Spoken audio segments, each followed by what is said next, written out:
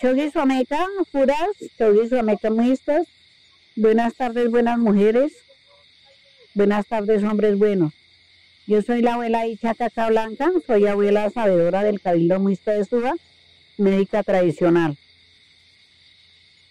Y lo que nosotros más queremos hacer es, es recordarle a la gente, a la comunidad, realmente cómo era, cómo era que se hacía el tejido. En qué territorio estás, en dónde naciste, quiénes eran tus abuelos, quiénes eran tus bisabuelos, o sea, realmente quién eres tú, de dónde vienes, qué genes traes, qué, qué cosas tenemos que volver a recordar, ¿sí? Bueno, yo soy una persona que ha tejido durante toda la vida. Eh, me ha acercado a muchos estilos de tejido, pero nunca había, me había acercado, digamos, al inicio del tejido, a, su, a, su, a su raíz, a su origen. Siempre empezamos en un centro, en un, en un huevo, en un espermatozoide con un óvulo, en, en, un, en un punto en donde todo se origina y siempre también la naturaleza, la biología y el universo nos enseña que todo crece en espiral, desde un punto central y se va expandiendo y se va expandiendo y va cogiendo otros elementos para ser parte pues, de su vida, de su rol, de lo que estemos hablando. Entonces, el, tejido también lo hace en esa misma forma, ascendente de manera en espiral, abarcando a otros espacios. Mm, el espiral es como, como el movimiento del tiempo, ¿sí? Del, y del tiempo y del no tiempo, porque es también pensar que, que hay una continuidad, pero realmente estamos en un espacio y en un momento de, también del presente. Y eso es llamar a la quietud. Entonces, cuando yo tejo, yo acompaño esa espiral, soy consciente. en el tejido uno recuerda todo esto, pues con mucha humildad, ¿no? Porque uno no, no voy a decir yo estoy creando, porque yo solo estoy generando una acción ahí, pero la, la que crea es la madre, o sea, yo solo acompaño. Entonces es constante, nunca se detiene, eso es lo bonito, uno puede empezar, pero al mismo tiempo no termina, o sea, puede ser infinito, y considero que la vida en parte es eso, es constante movimiento, es constante cambio, pero también hay una esencia que se mantiene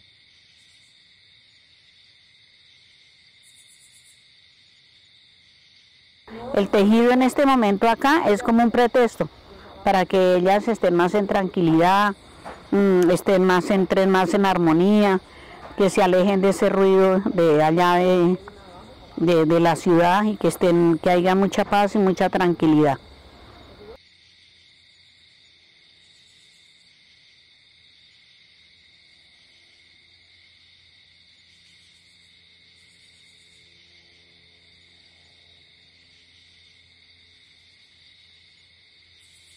Cuando uno está aprendiendo a tejer, siempre se va a enredar.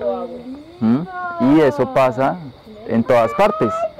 En tu trabajo, con tu pareja, con tu familia, siempre va a haber ahí algún bloqueo, algo que no esté fluyendo. Entonces el tejido te ayuda mucho a eso, como que a respirar un poco, de pronto mm, analizar qué fue lo que pasó, qué errores estás cometiendo y de esa manera corregirlos, no volverlos pues a cometer.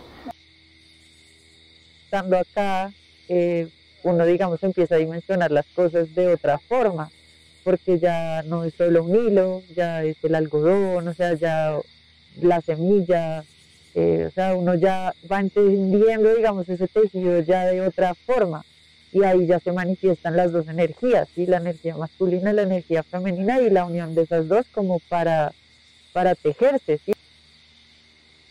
Es buscar eso. En un tejido uno también busca el equilibrio, que también funciona viéndolo de esa manera como la parte masculina y la parte femenina, que es importante pues despertar eso pues conscientemente. Y es una metáfora. El tejido puede tener muchas historias y muchos mensajes y muchas enseñanzas. Entonces, por medio del tejido uno se va preguntando cosas y así mismo se va respondiendo cosas uno solo, en medio de, pues, de, del silencio, eso es lo que más me gusta a mí, por ejemplo, estar tejiendo.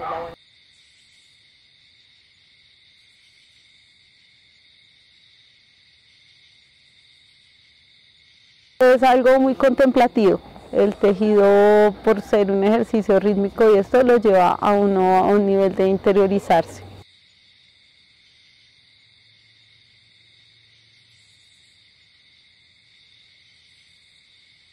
Y de pronto no todos los tejidos son para todo el mundo. Hay muchas formas de tejer y cada uno seguramente encontrará la suya, la que va con su forma de ser y también con la forma de su vida, porque no todos estamos para todos los tejidos.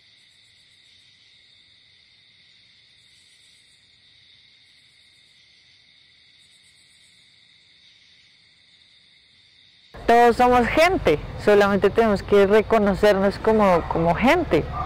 Eh, en tanto, pues digamos, eso eh, es muy importante de este espacio, por ejemplo. Empezar a hacer conciencia de quiénes somos, de qué gente somos y, y para dónde queremos ir y qué es lo que tenemos que aplicar. La humanidad es un urdimbre muy grande, es el tejido mayor, entonces es como todo lo que somos un tejido en unidad, es la medicina que se requiere para, para ordenar en el pensar y en el sentir. ¿sí? Para nosotros es una práctica espiritual más allá de un oficio artesanal, es, una, es, nuestra, es nuestra práctica espiritual como mujer en la tradición, es eso. Entonces, bienvenidos al tejido.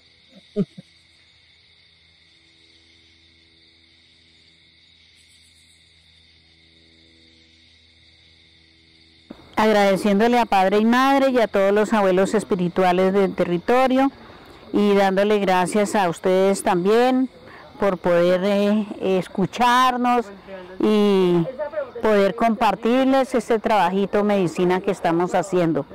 Muchas gracias, un, un misichoscua para todos, un abrazo de corazón y cuamisinga misichoscua.